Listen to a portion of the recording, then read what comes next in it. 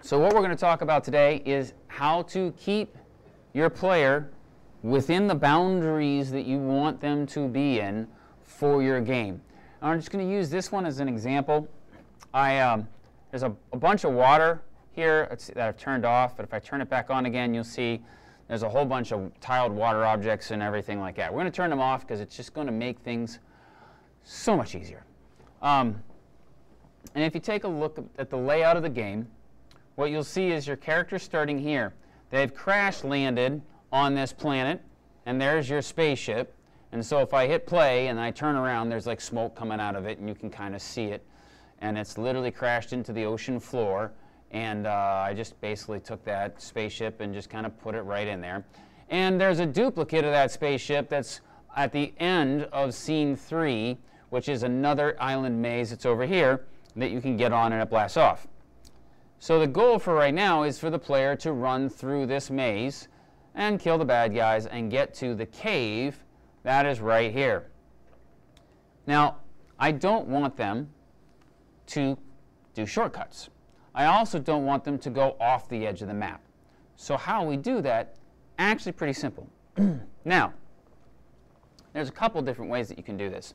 There's actually a, a plugin, a free plugin for Unity called iTween that I was reading about a couple weeks ago that will actually allow you to um, uh, set a path and, and, and hold your character to that path within a certain limit.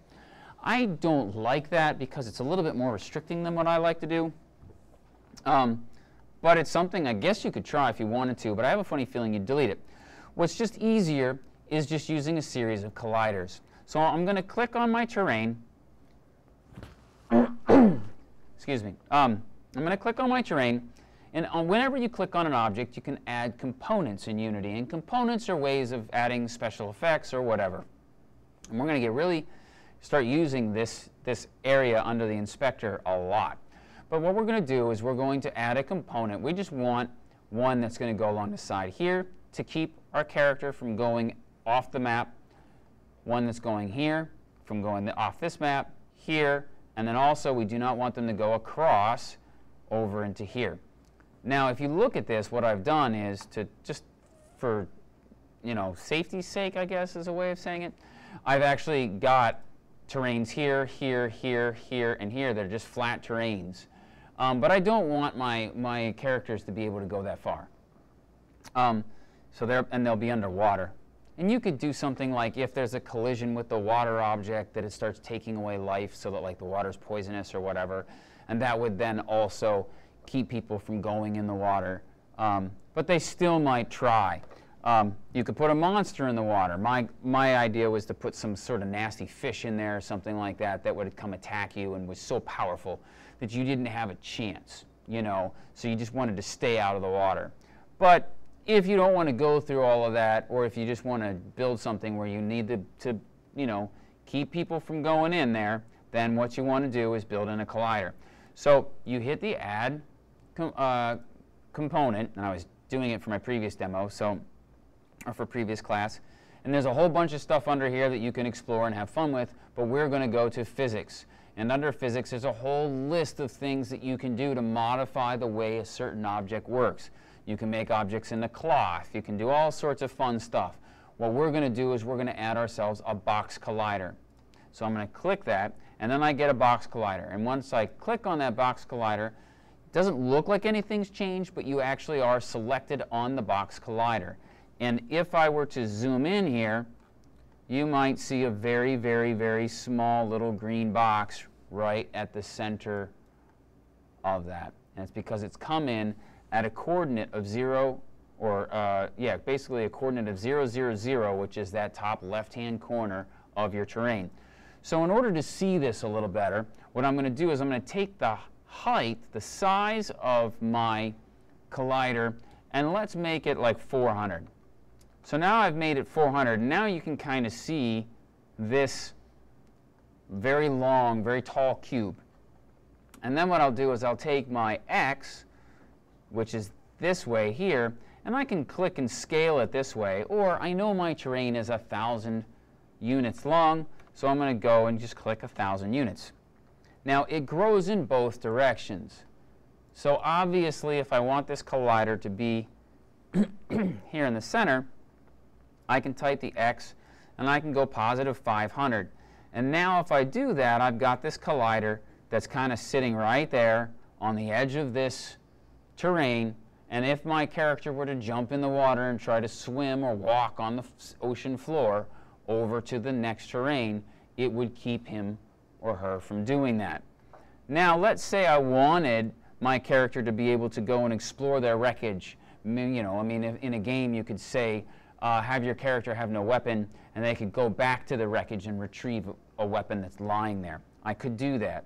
So when I do my next collider, I might not want to have it right on the edge of the terrain, as you'll see in just a second. So let's add another component. And you can also type in box in the search menu there, and then box collider will be uh, the first one. We're doing a 3D game, so do not make the mistake of choosing a 2D box collider, which is in and of itself kind of an oxymoron, and I don't know exactly how a box collider would work in, maybe it should be called a square collider in a 2D game, but you can set up 2D games in three, three dimensions, so anyway. And now we've got ourselves another really tiny little collider that's back in the top corner. So I'll do the same thing, 400. But this time, I'm going to set it up in the z-axis. I'm going to set that up to be 1,000. And now you can see I've got this collider here. And I can set up the z positive 500, and then I want to move it down in the x-axis to 1,000, which is going to move it to the end of that terrain. Now, one of the other things that you might see is these may be 400 units tall, but they also go below the terrain. That doesn't really matter. You're not going to hurt anything by doing that. If your character has a jetpack and you don't want them to fly over the collider, then maybe you should, you know, we could take the Y positioning and set it up so that we push it up to, um, if I do 200, they'd be sitting flush, and you could run the risk of maybe a, a hole or something like that, or a low part in the terrain, allowing them to go under. Well, uh, theoretically, you shouldn't. But so I might just take it up to 100 on both of these. And now I've got about 100 units sticking underneath the terrain, but 300 units going above, and that's going to be pretty good. So now I've got this. However, if I do want this person to be able to go out and explore this wreckage, they can't do it because this is now blocking them. So what I'm going to do is I'm actually going to move it over a little bit. And here's what's really cool about colliders. They don't actually have to be physically touching the object that they are a component of. So I can push this collider over about 200 more units to give my character the ability to go explore this wreckage but I don't have to add it to this terrain that the wreckage is actually on, which is kind of cool. So I can just take this, that's the x-axis. So I'm going to take my x-axis and I'm going to say 1200. And that gives me probably a little bit more than I need. Let's go um, 1100. That's perfect. But now I've got another problem. What's my problem? Can you see it? Yeah, I've got a gap here. So if the person wasn't paying attention, or if they were and they wanted to get out, they could get out here. So that means I have to go back to my first collider and make it a little longer. So I added 200 here, so I'm going to take my collider and make it 1200 long. And that actually worked. Oh, because I only made it 100 longer. Um, so that worked, but it also pushed it over here. If I make it 1100, okay, you'll notice there's still a gap. And the reason why there's still a gap is because it moves, it grows in both directions. So then I could go over here, take my x to 550, and now it's going to be perfect. And if you want them to be a little wider, I don't blame you, go 10 and 10, and now you can see, and I like making them a little wider myself when I do this, because when I look at it over top, I can make sure that there's a little bit of overlap. Oh, there we go. Between the colliders. And if you see a little overlap like that, that means you've got no holes. So you know now that the player is not going to be able to find a way through or find a hole in there. Now, so to do a, an easy one here, to do the same thing over here, I can kind of sort of duplicate colliders. It's kind of a pain in the butt.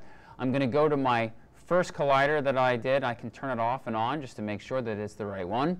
Then I'm going to click over here on this little gear, and I'm going to say copy component.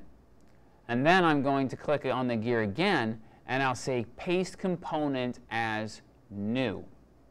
So now I've got a new collider that's there, but it's in the exact same position. I just need to move it down along the z-axis here. So I'll take this, move it 1,000 units over on the z-axis, and there we go. I already said this, but I'm going to go over this one more time. I know to move it over 1,000 because that's the size of my terrain. If you're just using the default size in your terrain, then you would be moving it in increments of 500 okay? So if I click on my terrain here, if you're not sure what size your terrain is, click the gear. And then there's your terrain width and height. So that's going to help you do that, okay? We don't need to worry about that right now, so we'll just close that. So now I've got my colliders here. So now I'm going to do the same thing with this collider, with the second one. So I, I click on it, I copy the component, I copy it as new, I've got another one down here. It's always, the new one always goes to the bottom. And I can set the x-axis back to 0.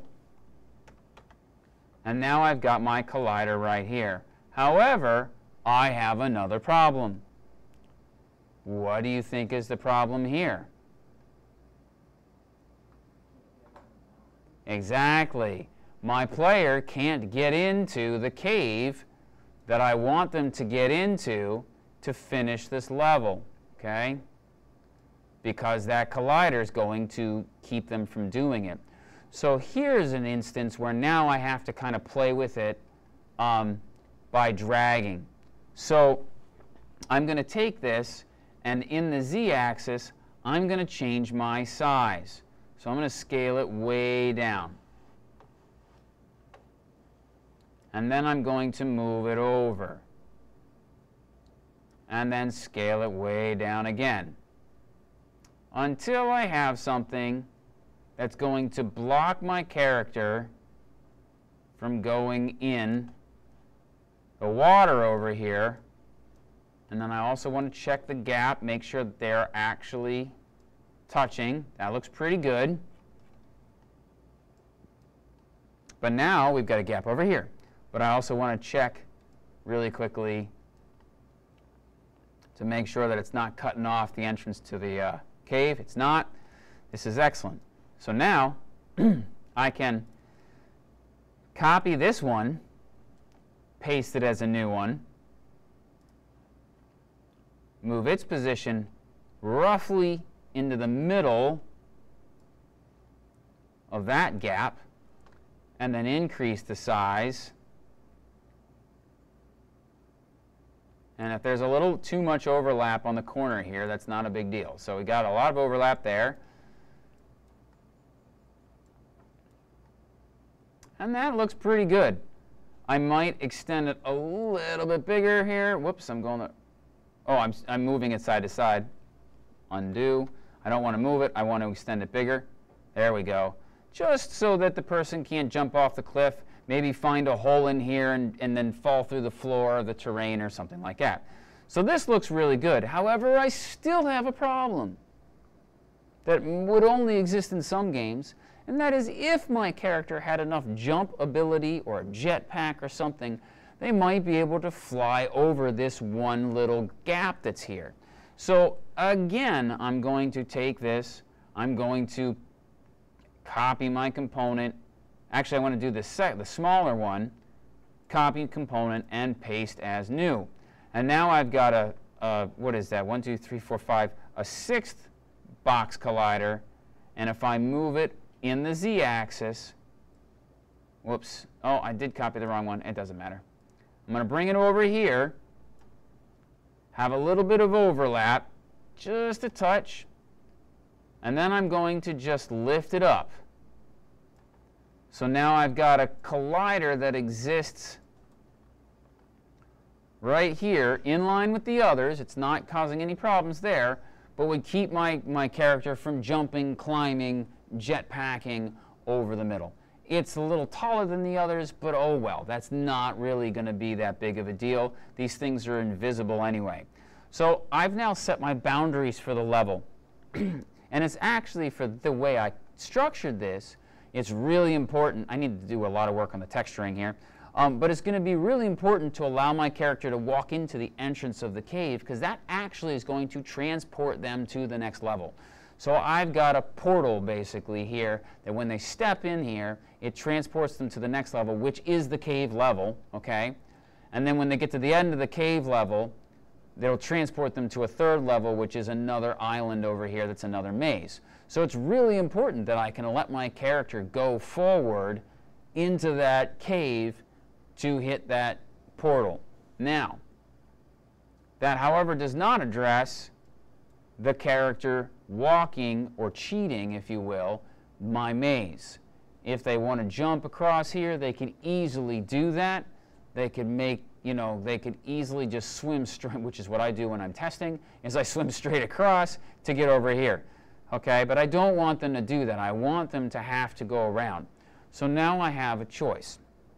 I can, one, create, like I, uh, like I said to you guys earlier, like an enemy fish, like some really super strong enemy that's in the water only, that, you know, you could never hope to kill fast enough. If they touch you twice, you're dead, you know, that sort of a thing. Or I could make there be damage whenever you touch the water. So if you go in the water, there's damage, and you have, you know, you got to get out really fast and you lose, or you lose life. Or I can set colliders in amongst here if I didn't want to do that to the person. Because sometimes doing that, it annoys people. You know, I mean, it, it, a lot of it just depends on the game. And, you know, those people, hey, that's part of the game rules and figuring out the game rules is that sort of stuff. So what I'm going to do is I'm going to take all my colliders and I'm going to collapse them. And now I don't need them anymore.